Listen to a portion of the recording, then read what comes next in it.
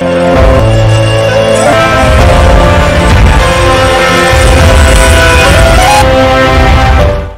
പ്രിയ സുഹൃത്തുക്കളെ എല്ലാവർക്കും സീനിയർ സഞ്ചാരിയുടെ നമസ്കാരം. പഴശ്ശിരാജയുടെ വീരസാഹസിക കഥകൾ കേട്ട് അതിലൂറ്റം കൊണ്ട് അഭിമാനബോധം ഉൾപ്പുളകം കൊള്ളിച്ച് സീനിയർ സഞ്ചാരി ഫാൻഡൻ റോക്ക് കാണുന്നതിന് വേണ്ടി യാത്ര തുടരുകയാണ്. പശ്ചിമഘട്ടത്തിലെ പച്ചപ്പാണ് നമുക്ക് എവിടെയും കാണുവാൻ കഴിയുന്നത്. വയനാടൻ കാഴ്ചകളുടെ അതിമനോഹരമായ പ്രകൃതി ഭംഗി. വയനാട് വാസ്തവത്തിൽ ഒരു മനോഹരമായ ഭൂമി തന്നെയാണ്. ഏത് കോണിൽ നിന്ന് നോക്കിയാലും നമുക്ക് സൗന്ദര്യം ആസ്വദിക്കാൻ സാധിക്കും. മഴക്കാല കാഴ്ചകളുടെ സൗന്ദര്യം ആസ്വദിക്കുന്നതിന് ഏറ്റവും അനുയോജ്യമായ സ്ഥലം തന്നെയാണ് വയനാട്. വയനാട്ടിലെ കോടമഞ്ഞ് തടാകങ്ങൾ താഴ്വാരങ്ങൾ ചരിത്ര സ്മാരകങ്ങൾ നാട്ടിൻപുറങ്ങളുടെ പച്ചപ്പ് വശ്യസുന്ദരമായ ഭൂപ്രകൃതി എല്ലാം മനസ്സിനെ പോൾമേർ കൊള്ളിക്കുന്ന പ്രകൃതി ഭംഗികളാണ്. വിചിത്രവും മനോഹരമായ ഒരു കാഴ്ചയാണ് ഫാൻഡൻ റോക്ക്. ആ ഫാൻഡൻ റോക്ക് കാണുന്നതിനാണ് സീനിയർ സഞ്ചാരിയുടെ ഈ യാത്ര. റോഡിന്റെ ഇരുഭാഗത്തും ഇഞ്ചിപ്പുല്ല് കൃഷി ചെയ്യുന്ന കാഴ്ച കാണാം. വളർന്നങ്ങനെ നിൽക്കുന്ന ഇഞ്ചിപ്പുല്ല്. ഇഞ്ചിപ്പുല്ല് വാറ്റി തൈലമെടുക്കുന്ന കേന്ദ്രങ്ങളും ഇവിടെയുണ്ട്.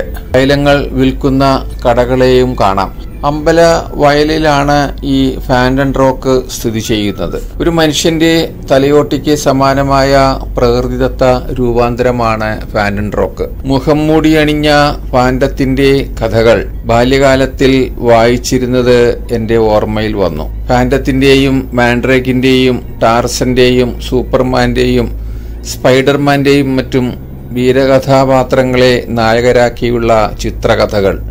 അതൊക്കെ വായിച്ചു രസിച്ചിരുന്ന കുട്ടിക്കാലം അതെന്റെ മനസ്സിലേക്ക് ഒഴുകി വന്നു. ഇപ്പോഴത്തെ കുട്ടികൾക്ക് വായിക്കാൻ സമയമുണ്ടോ? അത്രയധികം പഠന വിഷയങ്ങളല്ലേ ചുമന്നുകൊണ്ട് നടക്കുന്നത്. ഞാനിങ്ങനെ ഓരോന്ന് ചിന്തിച്ച് മെയിൻ റോഡിൽ ഫാൻ ആൻഡ് റോക്ക് സ്ഥിതി ചെയ്യുന്ന ബസ് സ്റ്റോപ്പിൽ എത്തിച്ചേർന്നു.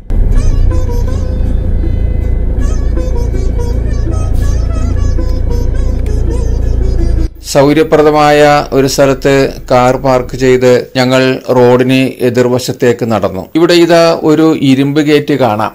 ഒരാൾക്ക് മാത്രം കടന്നു പോകാവുന്ന വീതി മാത്രമേയുള്ളൂ. വണ്ണുള്ളാണെങ്കിൽ ഇതിൽ അങ്ങോട്ട് ചരിഞ്ഞങ്ങോട്ട് നമ്മൾ ഫാനിന്റെ റോക്ക് കൊടുത്ത് ഈ ഇടവഴി കൂടി ഇങ്ങോട്ട് പോകും. കണ്ട? ഇതിങ്ങനെ ചരിഞ്ഞ് ചരിഞ്ഞ് ചരിഞ്ഞ് ചരിഞ്ഞ് ഇതിങ്ങനെ ചരിഞ്ഞ് ഇടവഴി കൂടി ഇങ്ങനെ പോകും. അങ്ങനെ ഫാന്റൻ റോക്കിലേക്ക് സീനിയർ സഞ്ചാരി മെയിൻ റോഡിൽ നിന്നും കടന്ന് മല കയറി പോവുകയാണ്. അത് രാവിലെ തന്നെ ഒരു മല കയറ്റം നമുക്ക് കിട്ടിയിട്ടുണ്ട്. ആ മല കയറ്റി കയറി കയറി അങ്ങറ്റത്തേക്ക് ചെല്ലുമ്പോൾ ഫാൻഡൻ റോക്കിലേക്ക് നമ്മൾ എത്തിച്ചേരും. ഇവിടെ നിന്നും ഏകദേശം നൂറ് മീറ്റർ നടന്നാൽ നമുക്ക് ഫാൻഡൻ റോക്ക് സ്ഥിതി ചെയ്യുന്ന സ്ഥലത്ത് എത്തിച്ചേരാൻ സാധിക്കും. മലയെല്ലാം കത്തിച്ചിട്ടുണ്ട് ഉണക്കപ്പുല്ലാണ്. ഉണക്കപ്പുല്ല് കത്തിച്ചിട്ടേക്കണം. അണച്ചു തുടങ്ങി ഉള്ള നടപ്പ് നല്ലൊരു എക്സർസൈസാണ് ഇപ്പോൾ വയനാട് വന്നിട്ടാണെങ്കിൽ എല്ലാ ദിവസവും ഈ നടപ്പും മലകയറ്റവും ഒക്കെ ആയതുകൊണ്ട് സീനിയർ സഞ്ചാരിക്ക് നല്ലൊരു ആയാസം കിട്ടുന്നുണ്ട്. ഒക്ടോബർ മാസം മുതൽ മെയ് മാസം വരെയാണ് ഇവിടെ സന്ദർശിക്കുന്നതിന് അനുയോജ്യമായ ഏറ്റവും നല്ല സമയം. ഇത് ഇങ്ങനെ കയറി കയറി മല കയറി കയറി കയറി ഇങ്ങനെ പോകണം നല്ല റബ്ബർ മരങ്ങൾ ഇങ്ങനെ ഇവിടെ നട്ടുപിടിപ്പിച്ച് പാലൊക്കെ എടുത്തുകൊണ്ടിരിക്കുന്നുണ്ട്. വീതി കുറഞ്ഞ ടാർ റോഡാണ് ഒരു കാറിനെ കഷ്ടിച്ച് കടന്നു പോകാമെന്ന് മാത്രം. പക്ഷേ ഇതിലെ പോകുന്നത് പാറകൾ പൊട്ടിച്ച് കയറ്റിയ ടിപ്പർ ലോറികളാണ്. ഇവിടെ വളരെയധികം ക്വാറികളുണ്ട് ആ ക്വാറികളിൽ നിന്നും പാറകൾ കയറ്റി പോകുന്നതിന് വേണ്ടിയാണ് ഈ റോഡ് നിർമ്മിച്ചിട്ടുള്ളത്. കാഴ്ചകൾ ഇങ്ങനെ കണ്ടു കണ്ട് നടക്കുമ്പോൾ നമുക്ക് ചില സമയത്ത് ഭയങ്കര ബോറടി തോന്നും.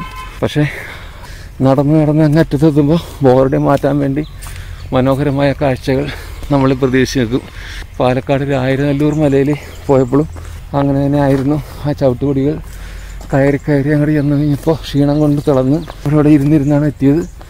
അവസാനം ചെന്നപ്പോൾ സുന്ദരമായ ഒരമ്പലവും അടിപൊളിയായി. ഒരു വലിയ നാരായണത്ത് ഭ്രാന്തന്റെ പ്രതിമയും കാണാൻ പറ്റി.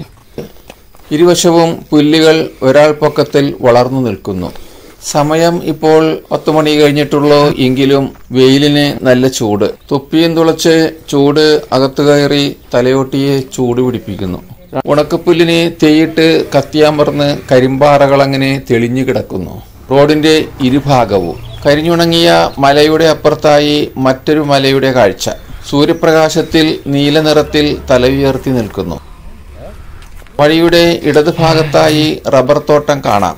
ഫാൻഡൻ റോക്കിനെ നമ്മൾ സമീപിച്ചുകൊണ്ടിരിക്കുകയാണ്. അമ്പലവയലിനടുത്തുള്ള അതിമനോഹരമായ ഒരു ടൂറിസം ഡെസ്റ്റിനേഷനാണ് സാൻഡൻ റോക്ക് ഒരു വലിയ മലയാണ് ഇവിടെ കാണുന്നത്.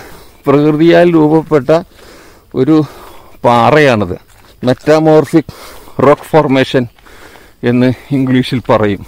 അതിന്റെ ഒരു പാറയാണ്. ആ പാറയെ കണ്ടാൽ ഒരു മനുഷ്യന്റെ തലയോട്ടി പോലെ തോന്നും. സ്കൾ ഓഫ് എ മാൻ തലയോട്ടി പോലെ തോന്നും. അതുകൊണ്ടാണ് അതിനെ ഫാൻഡൻ റോക്ക് എന്ന് പറയുന്നത്.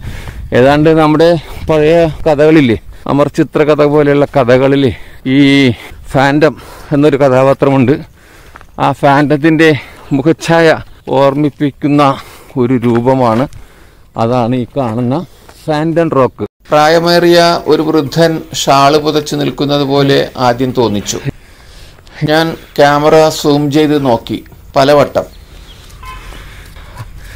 മനുഷ്യന്റെ തലയോട്ടി പോലെ ഒരു പാറ. സൂര്യപ്രകാശത്തിൽ അതങ്ങനെ തിളങ്ങി നിൽക്കുകയാണ്. ഇവിടെ നിന്നാൽ വയനാടിന്റെ പച്ചപ്പ് നിറഞ്ഞ ഗ്രാമീണ കാഴ്ചകൾ കാനന കാഴ്ചകൾ എല്ലാം ആസ്വദിക്കാം. റോക്ക് കണ്ടാൽ നമുക്ക് ഒരു മനുഷ്യന്റെ തലയാണ്. പ്രത്യേകിച്ച് നമ്മുടെ കോമിക്കുകളിൽ ഫാൻഡം എന്ന കഥാപാത്രത്തിനെ ഓർമ്മിപ്പിക്കുന്ന തലയാണ് നമുക്കിവിടെ കാണുന്നത്. നമുക്ക് അതിന്റെ കൂടുതൽ കാഴ്ചകളിലേക്ക് വേണ്ടി നമുക്ക് ഇപ്പുറത്തേക്ക് പോകാം. കൽപ്പറ്റയിൽ നിന്നും പതിനേഴ് കിലോമീറ്ററാണ് ഇവിടേക്കുള്ള ദൂരം. നമുക്കിവിടെ ട്രെക്കിംഗ് മുഖേന മാത്രമേ എത്തുവാൻ പറ്റുകയുള്ളൂ. ഇപ്പോൾ ഞങ്ങളവിടെ നിന്ന് ആ റോട്ടിൽ നിന്ന് ട്രെക്കിംഗ് നടത്തിയാണ് ഇവിടം വരെ എത്തിയത്. രണ്ടായിരത്തി അറുന്നൂറ് അടി മുകളിലാണ് ഈ ഫാൻഡൻ റോക്ക് സ്ഥിതി ചെയ്യുന്നത്. ഇവിടെ നിന്ന് കഴിഞ്ഞാൽ ഫാൻഡൻ റോക്ക് മാത്രമല്ല വേറെയും കുറേ പാറകളും മലകളൊക്കെ നമുക്ക് കാണാം. നല്ലൊരു വ്യൂ പോയിന്റാണ് ഇവിടെ നിന്നാൽ നമുക്ക് കിട്ടുന്നത്. ദേ ഇവിടെ പാറ ഞങ്ങൾ വന്ന പാറ ഇത് ഇവിടെ അവസാനിക്കുകയാണ്. ഒരു കാരണവശാലും ഇതിൽ നിന്ന് ഒരു അടി പോലും മുന്നോട്ട് പോകരുത്. ഇവിടെ ചെങ്കുത്തായ കൊക്കയാണ് നമുക്ക് കാണുന്നത്. തങ്ങാട് ഒരിക്കലും പോകരുത്. ഇവിടെ നിന്ന് നോക്കുമ്പോൾ കിഴക്ക് ഭാഗത്തായി നമുക്ക് ഫാൻഡൻ റോക്കിനെ കാണാം. തല ഉയർത്തി നിൽക്കുന്ന ഫാൻഡൻ റോക്ക് ഇതവിടെ നോക്കുമ്പോൾ വേറൊരു മല. രണ്ടാമതൊരു മലയാണ്. ഇതിവിടെ നിന്ന് നോക്കുമ്പോൾ വേറെ മല. അങ്ങനെ രണ്ട് മൂന്ന് മലകളെ നമുക്ക് പാറ മലകളെ നമുക്ക് ഇവിടെ നിന്ന് കാണാം. ഈ കരിങ്കൽ മലകളെല്ലാം എത്ര നാൾ ഇവിടെ ഉണ്ടാകും എന്ന് പോലും ഞങ്ങൾക്ക് സംശയമുണ്ട്. കാരണം ഇവിടെ നിറയെ കോറികളാണ്. കോറികളുടെ ഒരു കേന്ദ്രമാണ് ഇവിടെ കാണുന്നത്. നമ്മൾ കഴിഞ്ഞ ദിവസം കണ്ട ചീങ്ങേരി മലയുടെ അടുത്തായിട്ടാണ് ഈ പറഞ്ഞ ഫാൻഡൻ റോക്ക് അതുപോലെ തന്നെ എടക്കൽ കേവ്സും ഇതിന്റെ അടുത്ത് തന്നെയാണ്. ഇവിടെ നിന്ന് നോക്കുമ്പോൾ അങ്ങകലെ മറ്റൊരു മല കാണാം. ഇതാണ് ആ മല. കണ്ടാ? അവിടെ മുകളിലും ഒരു പാറ ഇങ്ങനെ നിൽക്കുന്നുണ്ട്. ഫാൻഡം റോക്കല്ല വേറെ ഏതോ ഒരു റോക്കാണ് അവിടെ നിൽക്കുന്നത്. മലകളുടെ കേദാര ഭൂമിയാണ് ഈ വയനാട് ജില്ല. ഇതൊരു മല.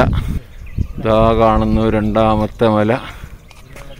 ഇതാ കാണുന്നു ഫാൻഡൻ റോക്ക് ഫാൻഡൻ റോക്കിന്റെ അടിവാരത്ത് നിന്നുള്ള കാഴ്ചകളാണ് ഈ കാണുന്നത്. മലകൾ ഇങ്ങനെ താഴെ നിന്ന് വളർന്ന് മുകളിലേക്ക് പോയി നിൽക്കുന്ന കൂർത്ത മൂർത്ത ശിഖരങ്ങൾ ആ മലയിലുണ്ട്.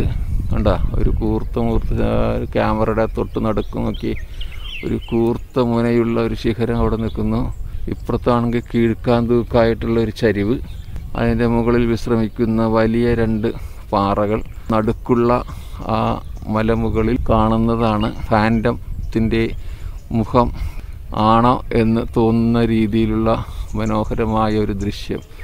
ഇതാണ് ഫാൻഡൻ റോക്ക് ഇവിടെ രണ്ട് നമ്മുടെ രണ്ട് സുഹൃത്തുക്കൾ അവിടെ കാത്തു നിൽക്കുന്നുണ്ട്. അവർ നമ്മളെയും കാത്ത് അവിടെ നിൽക്കുകയാണ്.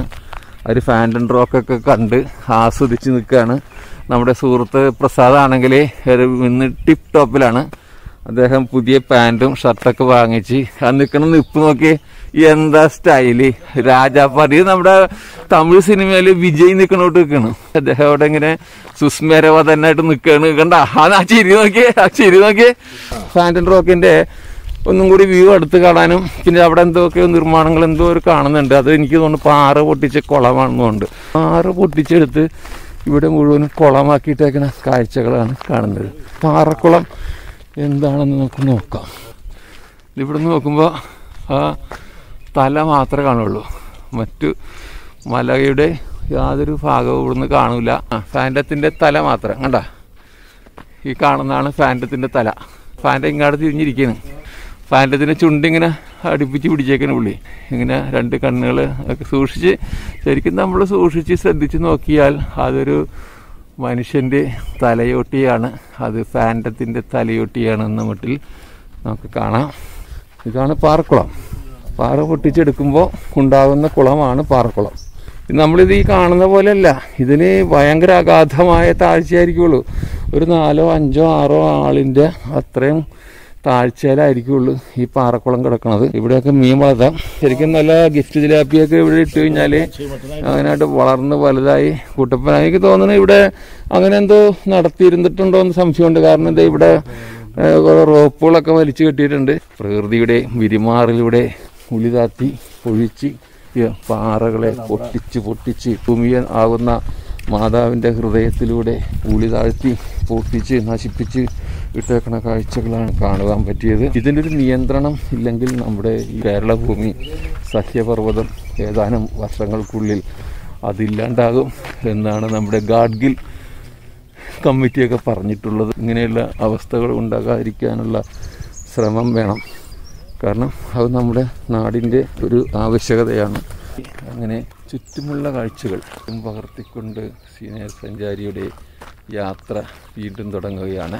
രണ്ട് സഞ്ചാരികൾ അകലെ നിന്നും കയറി കയറി വരുന്ന കാഴ്ചയാണ്. പറയൂ എവിടെന്നാ? Ernakulam. Oh we are also from Ernakulam. എവിടെ? നോർത്ത് പറവൂർ. സാർക്ക് എവിടെ ഞങ്ങൾ വൈറ്റില. വൈറ്റില? ഓക്കെ ഇവിടെ തന്നെ ആയിട്ട് വന്നതാണോ അല്ലെങ്കിൽ വേറെ എവിടെയെങ്കിലും ഞാനിവിടെ വർക്ക് ചെയ്യുന്ന അപ്പൊ അതെ. അത് ശരി. അപ്പോൾ ഫാമിലി ആയിട്ട് വന്ന് കണ്ടിട്ടൊന്ന് പോകാൻ കരുതി. എന്താ സാറിന്റെ പേര്? ഞാൻ വിനോദ്. വിനോദ്. ഓക്കെ ഓക്കെ ആ കുറച്ച് കുറച്ചും കൂടി ഉണ്ട്. ഇത് വളയം കഴിഞ്ഞ് അങ്ങോട്ട് ചെല്ലുമ്പോൾ മല കാണാം. മലയുടെ തൊട്ടടുത്തൊക്കെ എല്ലാം പറ്റില്ല. എന്നാലും അടുത്ത് നിന്ന് നമുക്കൊന്ന് കാണാം. അവിടെ ചെങ്കുത്തായ പാറയാണ്. അവിടെ ശ്രദ്ധിക്കുക. ഓക്കെ. ശരി എന്നാ ഓക്കെ. Hi madam. അമ്മ വളരെ ശ്രദ്ധ- ശ്രദ്ധിച്ച് സൂക്ഷിച്ചൊക്കെ പോകണം കേട്ടാ. നടന്നൊക്കെ. ഏ? നല്ല ഐറ്റാണോ ആ കുറച്ച് കഴിഞ്ഞിട്ടുണ്ട് ഇത് ആ വളവ് കഴിഞ്ഞ അവിടെ വരെ ഉള്ളൂ. ശ്രദ്ധിച്ചൊക്കെ പോകണം ശ്രദ്ധിച്ച് പിടിച്ച അമ്മ അമ്മച്ചിനെ ഒന്ന് പിടിച്ചോളൂ. ഓക്കെ. എന്നെക്കാട്ടിലും ഒരു വലതുവശത്ത് രണ്ട് മൂന്ന് പാറകൾ തമ്മിൽ കൂട്ടം കൂടി നിൽക്കുകയാണ്. ഇതാണ് നമ്മൾ നേരത്തെ പറഞ്ഞ പാറ. കണ്ടാ? എത്രമാത്രം ഇത് ഫാൻഡർ റോക്കില്ല ഫാൻഡത്തിന്റെ ആളിയനായിട്ട് വരും ഇത്. കണ്ടാ? അതിന്റെ മുകളിൽ ഒരു തല പോലെ വെച്ച് കഴിഞ്ഞാൽ ആ. ഫാൻഡത്തിനും വിട്ടുപോകാൻ അവിടെ നോക്കിയേ ഒരു ആനയുടെ തല മസ്തകം പോലെ കണ്ട? ആ കിഴക്കോശം ഇടതുവശത്ത് നോക്കിയേ ആനയുടെ മസ്തകം പോലെ നിൽക്കുന്ന ഒരു പാറയാണ് ആ കാണുന്നത്. ഈ കാണുന്ന പാറകളൊന്നും ഇനി അധികക്കാലം ഉണ്ടാവില്ല. അത് വല്ലതും വേണമെന്നുണ്ടെങ്കിൽ വന്ന് കണ്ടോളൂ കേട്ടാ.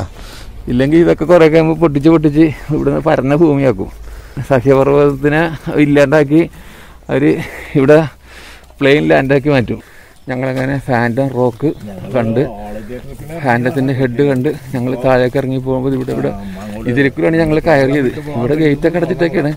ഞങ്ങൾക്ക് പോകാനായിട്ട് ഒരു ചെറിയൊരു വഴി മാത്രമാണ് ഉള്ളത്. വണ്ണം കൂടിയ ആളുകളൊക്കെ വന്നാൽ ആകെ പ്രശ്നമാകും ഇതിൽ നടന്ന് നടന്ന് ഇങ്ങനെ ഈ ഇട വഴി കൂടി ഇതിങ്ങനെ അങ്ങോട്ട് ഇറങ്ങി ഇറങ്ങി നോക്കുകൊണ്ടാണ് കൊണ്ട ഇതാണ് നമുക്ക് ഇറങ്ങാനുള്ള വഴി. അങ്ങനെ ഫാൻഡൻ റോക്കിന്റെ കാഴ്ചകൾ കണ്ട് സീനിയർ സഞ്ചാരിയും കൂട്ടരും വീണ്ടും യാത്ര ആരംഭിച്ചു. ലക്കിടിയിലേക്കാണ് യാത്ര. ചങ്ങലയിൽ ബന്ധിച്ച കരിന്തണ്ടന്റെ കഥകൾ മനസ്സിലാക്കുന്നതിന് വേണ്ടിയുള്ള യാത്ര. ആ കഥകൾ നമുക്ക് അടുത്ത എപ്പിസോഡിൽ കാണാം. എല്ലാവർക്കും നന്ദി.